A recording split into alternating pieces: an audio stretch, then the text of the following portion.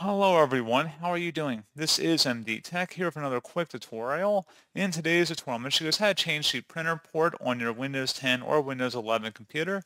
So this should hopefully be a pretty straightforward process here guys, and without further ado, let's go ahead and jump right into it.